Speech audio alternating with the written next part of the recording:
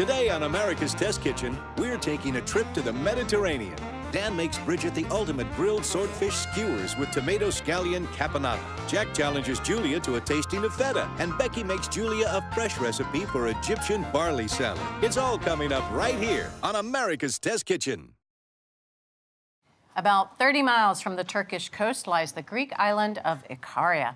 It's been called the island where people forget to die. One in three residents on the island live well into their 90s, and the island is home to a large population of centenarians. Now, the reason for their longevity is a combination of low stress, happiness, and the Mediterranean diet. But by diet, we mean a holistic lifestyle, not counting calories or grams of fat, but rather living well and eating lots of olive oil, whole grains, vegetables, and fish. So today we're going to show you two great Mediterranean-inspired recipes. First up is grilled swordfish with tomato scallion caponata.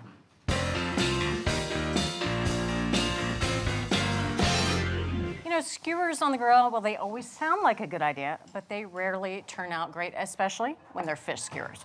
Lean fish is so easy to overcook, and if you choose the wrong type, you're gonna end up with this. I mean, check this out. The fish, well, it just comes right off of the skewer, and it's obviously overcooked. If you look at these vegetables, they are undercooked. No even cooking here. So Dan is here, and he's gonna show us that skewered fish and vegetables, well, they don't have to be a fishtail.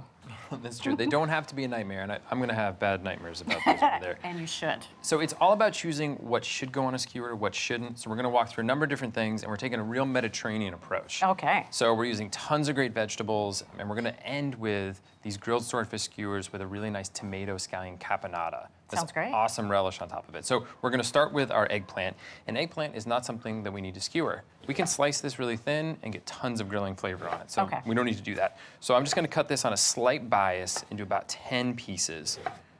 An eggplant is one of those vegetables that will test your knife, and it's going to quickly tell you if your knife is sharp enough. So make sure you have a very sharp knife to get through the eggplant. It's also one of those vegetables that you really need to cook through, yes. or you get that spongy kind of quality. Absolutely. So sliced thin like this, these are about half inch slices. They're gonna cook through really nicely. Now we're gonna get to our tomatoes. Cherry tomatoes, if you just throw them on the grill, it's not very fun, right? So they're a great item to skewer. But notice I'm just gonna skewer them all by themselves. Okay. Right? These aren't gonna be with fish. And that means that we can get them on the grill and then off when they're done. Not we have to cook them a little bit longer because of the fish or vice versa. You want a nice cheat tray, and we'll just put it all on there. I also have six scallions here, so I just trim them up. You can see that they don't have the little furry roots on there tassel, anymore. as I little, call it. You, tassels, that's so fancy, I like that. And then we just trim the tops off. Okay. Right, so these guys are good to go. Now let's get to the star of our skewers, swordfish. The type of fish you choose to skewer is also really important. You want something that's really sturdy. Swordfish is the perfect fish for it. These are some steaks here, and what I'm gonna do is cut them into pieces that are pretty even in size. We want them to be about one and a quarter to one and a half inches. And this is pretty cleaned up swordfish already. This has a little bit of the bloodline here, which isn't a problem, but you can absolutely trim it more, or you can have your fishmonger do it. Nice big chunks. Nice big chunks. Yep, they're not gonna overcook. I'm gonna pat them dry. So another really good tip when you're doing skewers is you wanna do all your seasoning before you put them on the skewer. You get all the different sides. Once they're skewered together, it's a little bit more difficult. That's right. So we're gonna start with a tablespoon of ground coriander. Do you like coriander? I love coriander. Me too. It's so lemony and citrusy. I feel like we don't use it quite enough in this country. I'm also gonna use some kosher salt here. You notice what Dan is doing. He is sprinkling everything from quite the distance, and that's going to ensure that all the spices and the seasonings are more evenly dispersed. All right, so I'm just flipping these over. And as I'm doing that, I'm kind of rolling them in uh, any of the stuff that was around there. We want just good seasoning all over. At the end, I like to get it kind of in my palm. It's easier to get the rest out. Rain it down on that. and a little more salt. Okay, and finally, hit them with some nice pepper. Very simple rub at this point. Very simple, Yep. yep. So now I'm gonna skewer. I have three metal skewers. Metal's really nice. It's not gonna catch on fire, which is a bonus when it's going on the grill. Yes, always. Um, and that can be a problem. You know, they catch on fire or burn a little bit, become weak, and you try and take them off, and it just falls in there. So metal's great, reusable. And these are flat metal skewers. They're not round skewers, so the food's not going to rotate around like a pinwheel. We don't want that. No, no pinwheels. And another thing that you're doing, Dan, is compressing the fish together so it's going to protect the fish on the grill and it's also less apt to fall off. Okay, so our fish is all set. I haven't mentioned these yet, but we also have two lemons that we cut in half, and we're gonna grill those along with the fish. Sounds great. The final thing we're gonna put together before we get to finally start grilling is a vinaigrette that's gonna be the basis of our caponata. We're just gonna start with two tablespoons of extra virgin olive oil, two more teaspoons of coriander. We're gonna get that flavor in the caponata as well. We love it. We do love it. Next, I have one and a half tablespoons of honey. Next up, I have a tablespoon of grated lemon zest. It's gonna help bump up that coriander citrusiness. I have two cloves of garlic that have minced.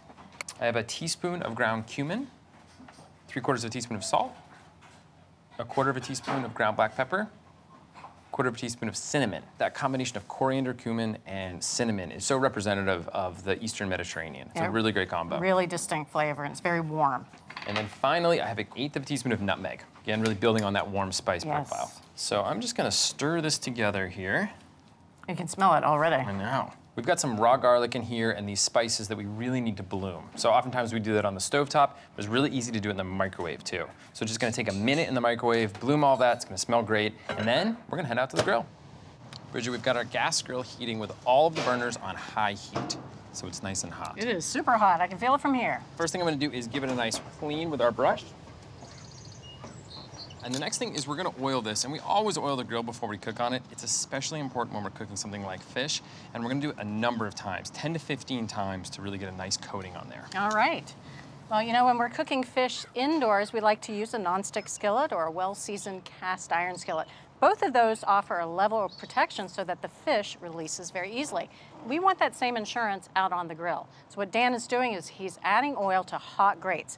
Now, when the oil goes onto the hot grates, it polymerizes. Basically, it creates a nonstick barrier in between the protein, in this case fish, and the hot surface. So we've oiled up our grates really nicely. We're also gonna do the same thing to all of the food here for the exact same reason. okay. We want a nice nonstick coating. Absolutely zero chance of sticking at this point. That's right, that's what we're going for. Every single thing's getting oiled. Gotta get it all. I see a theme here. Well, plus the oil, especially with the vegetables, helps with browning too. That's right. All right, time to go on the grill. I'm actually gonna start with the eggplant, which is gonna take generally the longest to cook. And I'm gonna stagger my tomato skewers over here. Everything's on high heat. Okay. What's really nice about this recipe is everything cooks within a five to 15 minute range. It's a very Mediterranean style of cooking, you know, just kind of throw everything on there and pull it off when it's done. so for my fish, I'm gonna do the same thing in the center here, just give it a nice angle. Mm. We'll get some real pretty grill marks on that. And then finally, our nice lemon halves go down. So I'm gonna cover this here and we're gonna cook for really five to 15 minutes. We're gonna pull things off as they're done. And for the fish, I'm gonna try and rotate it a few times to get some nice browning on all sides. All right, let's see how everything's looking. Gorgeous. Beautiful. So there are some things that are done already and we're gonna get them right off. So the scallions, those go real quick. So we'll take those off. The lemons are also in really good shape. Beautiful char. Beautiful. It's amazing how a little bit of grill time really intensifies the flavor of the lemon. It's true. And then our pretty little cherry tomatoes, I flipped them one time. Those look beautiful. Zero sticking. Zero sticking. I know our fish is good, but just to be sure, I am gonna take a temperature. We're looking for 140. Oh, nailed it. Spot on. All right, now we'll get our beautiful fish off.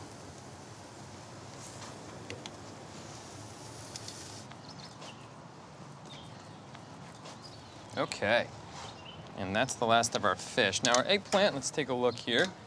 It's looking nice. I want to give it another five minutes or so. Okay. We want it to get really nice and soft. It's gonna make that caponata nice and creamy.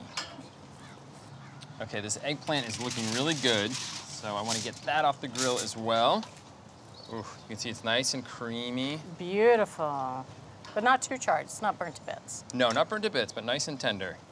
Mm-hmm. We can head inside. Sounds good? Look at all this awesome grilled food we have. It is beautiful. I almost hate to eat it because it's so. No, actually, I don't. I don't hate to eat it. I can't wait to eat it. Can't wait to eat it. First, we're gonna deal with the lemons. This is our vinaigrette that we microwave, so it's not raw anymore, has lots of great flavor, and we're gonna build on that and make our caponata. Citric acid is really volatile, so some of it cooks off on the grill. So this tastes sweeter and less acidic than normal lemon juice. Now I'm gonna add a quarter of a cup of Kalamata olives that have been pitted and chopped. Some nice brininess. All right, let's get to our cherry tomatoes. So we're just gonna slide these right off the skewers. And I love these. They're basically just blistered at this point. They've got nice flavor, but they're still really juicy. And we're gonna give everything a nice rough chop. It's gonna go into our bowl. Now these are really plump. Sometimes when you grill tomatoes, they can get too charred and start to dry out, but these cherry tomatoes are nice and plump, actually turning into a sauce right before my eyes. Bridget, would you mind passing me that bench scraper? This is kind of the perfect job for this guy here. So I'm gonna pick it up and transfer to our bowl. Did you do plaster work in your last life? How did you know? Okay, so here we go. We're just gonna chop these scallions up. We want a nice coarse chop on them. Into the bowl. All right, now it's eggplant's turn. Just gonna make a few nice piles. Great, that eggplant looks awesome. So that also goes into our bowl. Just gonna stir this all together. Doesn't that look good? It is beautiful, and I love that you chopped everything pretty evenly, so it's going to be easier to eat it. We'll go fancy. We're gonna go caponata down on the plate first. Make a nice little bed for our fish. Some beautiful pieces of fish on there. And finally, we've got a little bit of minced basil. Just goes right on top of the fish. Perfect. I mean, that's stunning. Almost too pretty to eat. Almost. Almost. Mmm. You know, sometimes when you add a spice rub to fish or anything, it actually can be too spiced. This has a really nice, gentle coriander flavor. It's beautiful. The caponata almost steals the show, honestly. I really love that. Mm, both of them together. It's kind of perfect. This is changing the world of fish skewers. Great job. Thanks, Bridget.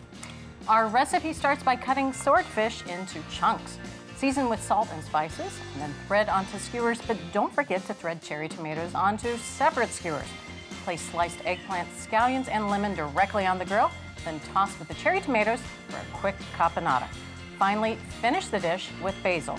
So from our test kitchen to your kitchen, grilled swordfish skewers with tomato scallion caponata, also known as delicious.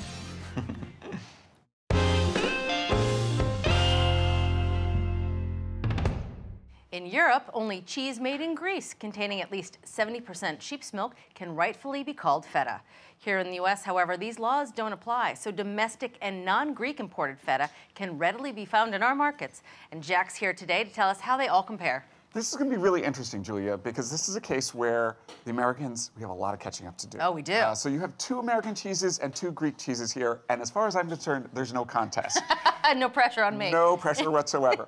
so the big difference is the American cheeses are made with cow's milk.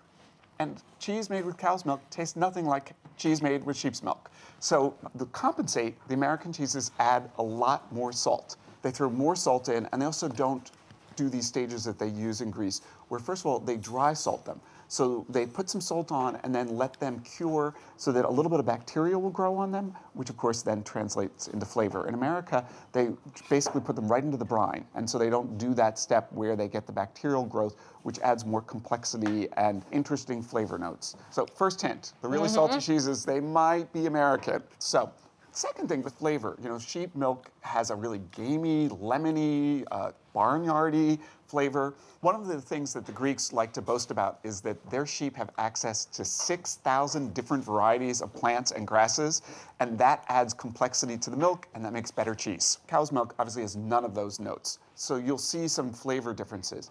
Fat is a big issue here. Sheep's milk has twice as much fat as cow's milk. So of course, when you make feta cheese from sheep's milk, you get a lot more fat. So you get a richer cheese, you also get a softer cheese. You know, it, it melts really nicely, has a sort of luscious texture to it. In Greece, they are allowed to use up to 30% goat's milk. No cow's milk at all allowed. Um, so you've got one of the Greek cheeses is all sheep, and one is a blend of sheep's milk and goat's milk. Um, we also did some cooking tests with these. We used them in a salad. We put them in a spanakopita, and you really will see these flavor differences carry through in your dishes. I think you're worried. I am a little worried. I think you feel like you may not get this one right. I, I'm, you know what? I'm feeling the pressure, I must say. So I'm gonna choose this is my all-time favorite because it's very creamy, it's sharp, it has good flavor. And this is my second favorite, but I think I like it because it's sort of mild flavored. So these two are my favorites. These two are great too, though. I have no problem with either of those. Oh, so you're easy to They're all, please? yeah, I am. I guess I just like all kinds of feta. All right, so let's see. start with this one. All right, Julia, you've chosen a Greek cheese. Mm. You chose Dodoni. So this was the runner-up. This is a sheep and goat's milk. We really like this cheese. Has a little bit different flavor because of the goat's milk, but it's an excellent choice. All right. So next, this you, one. You chose the other, the real Greek. Oh, This was the winner. know? That one is 100% sheep's milk. They're both great choices. Gotcha. All right. And this one? Uh, this is Organic Valley. We didn't really like this. This was at the bottom of the rankings. It's an American cheese. It's made with cow's milk. You seem like you'll be happy with it. Our tasters were not so happy with it. Okay. Last but not least. Uh, this was the best of the American choices, Boar's Head. Again, still cow's milk, but it was more interesting than some of the other American cheeses. All right, so America does have some catching up to do when it comes to feta. So when you're shopping, buy real Greek feta at about 87 cents an ounce.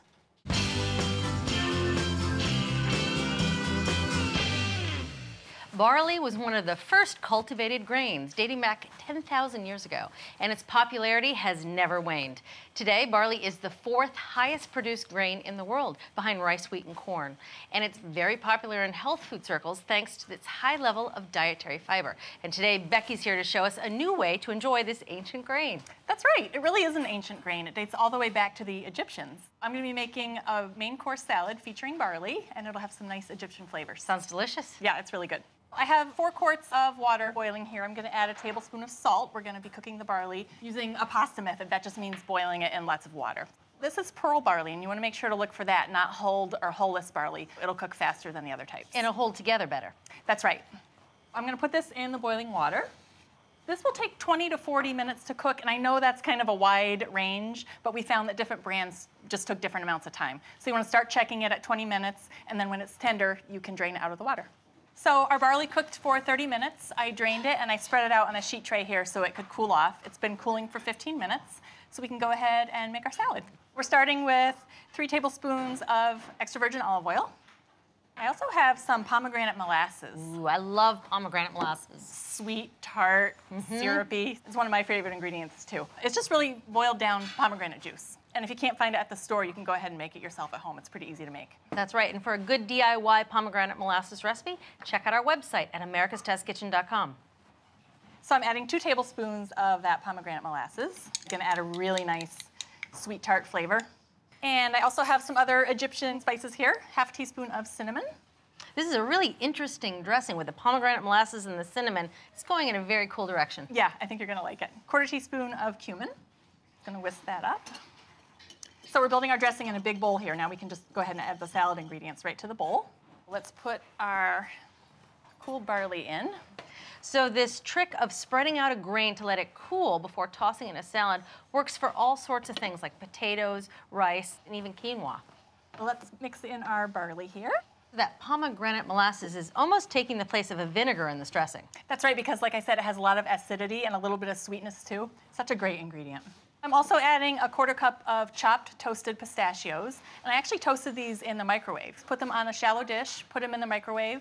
Just want to stir them every minute until they start to brown. After that, start checking them every 30 seconds. Very clever. Yeah, really, really good tip, especially for a small amount. Yeah.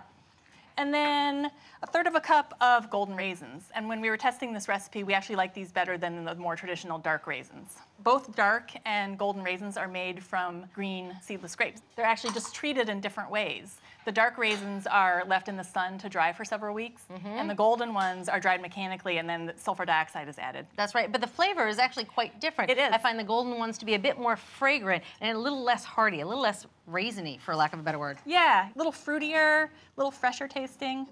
Okay, so we'll set that aside for a minute. I'm also going to be preparing a pomegranate.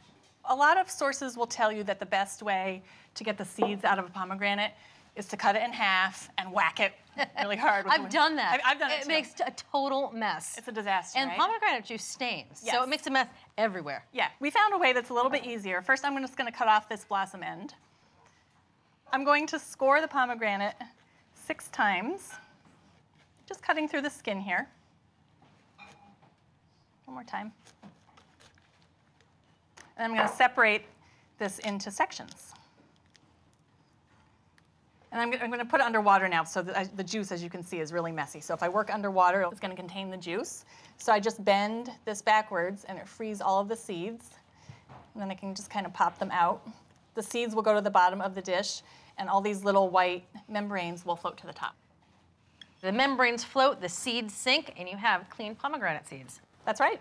When shopping for pomegranates, choose ones that are large, heavy, so they have a lot of seeds inside, and make sure it has a hard skin on the outside. Also, know that the color of the rind can vary from a bright pink to a dark brick red, but that doesn't tell you anything about ripeness. It's just a varietal difference. So I finished up the pomegranates. I'm just going to drain this. So here's my pomegranate seeds. I'm just going to measure out a half a cup. Now, any extra you have, you can refrigerate those for up to five days, and they taste good in all kinds of salads. Yeah, I would actually gobble those up myself. I probably wouldn't refrigerate them. Or it's a kitchen snack. That's right. So we'll put this over here. This is a composed salad. We're not going to mix everything in. We're going to make some nice pretty layers on Oh, top. nice. Yeah. But before we do that, I'll add a half a cup of chopped fresh cilantro. Always good to add your fresh herbs just before serving. That way they don't wilt down. That's right.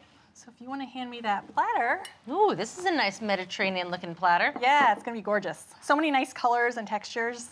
Okay, so we'll just put this out on the platter. And I'm going to arrange the remaining ingredients on top in diagonal rows to make this look really pretty. Spread this out to give myself a little base here. What should I start with? Maybe the pomegranates? Mm, yes. Little gems they look like. I know, they sparkle. They're so pretty. Looks really nice. I love it. Three ounces of feta, so nice and salty. some- creamy. yeah, adds a little bit of richness. And then I have six scallion greens that I'm going to add for my green row here. So not the whites, just the greens. That's right. The greens are peppery. They have a nice grassiness, whereas the whites are milder, so we're going to use the bolder part of the scallion. Ta-da! Now we have some olive oil here. I'm just going to give this a nice little drizzle just to add a little more richness. Gorgeous. Now that makes a beautiful lunch or a light ah, dinner. What a presentation. I mean, this is worthy of company. It really is. I agree. So you notice I have our serving bowls already. You are ready. It's a looker, but it also looks delicious.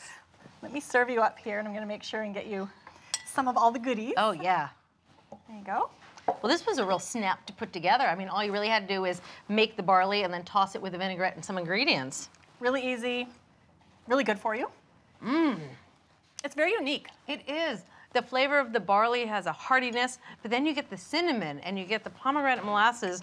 Sweet, salty, mm-hmm. lots of texture, lots of color. Thank you. You're welcome. To make this salad, boil barley in salted water until tender, then let it drain and cool before tossing it with a pomegranate vinaigrette. Garnish with lots of fresh Mediterranean ingredients, including feta and pomegranate seeds, and you're golden. From our test kitchen to your kitchen, a wonderful new recipe for Egyptian barley salad. You can get this recipe and all the recipes from this season, along with our tastings, testings, and selected episodes on our website, americastestkitchen.com. This is a real winner. Thanks for watching America's Test Kitchen. What'd you think? Well, leave a comment and let us know which recipes you're excited to make, or you can just say hello. You can find links to today's recipes and reviews in the video description. And don't forget to subscribe to our channel. See you later. I'll see you later.